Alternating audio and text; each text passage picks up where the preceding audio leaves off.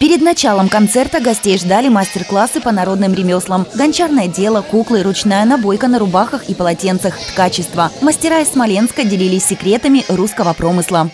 Маленький ткацкий станочек мы сегодня привезли, чтобы показать сам принцип, как образуется ткань. На фольклорном празднике в этот день собрались десногорцы, которым не безразличны русские традиции. Многие из присутствующих лично внесли свой посильный вклад в сохранение и примножение народной культуры. Это значимое для города мероприятие открывал голос подлинного смоленского рожка.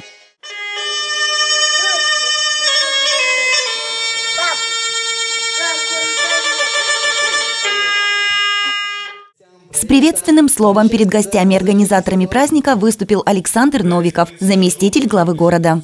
Не перестаю удивляться многогранности нашего города, самого молодого города Смоленской области.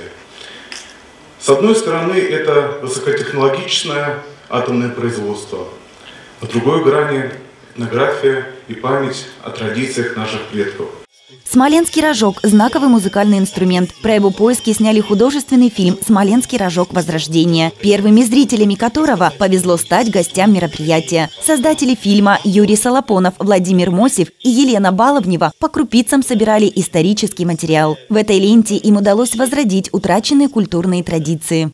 Впервые посчастливилось снимать про живых людей. Про живых людей, таких талантливых и Какое было удивление, когда мы просто узнали, что в самом молодом городе Смоленщины живут люди, которые помогают сохранять, да что там помогают, они сохраняют самый древний пласт нашей культуры.